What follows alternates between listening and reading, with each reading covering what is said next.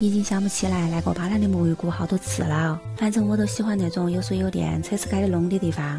地上的草已经长起来了，狗遛娃、耍朋友都安逸得板。那会儿还发现了迷你版的模式公园，拍照发朋友圈，没得人猜得到是哪点儿。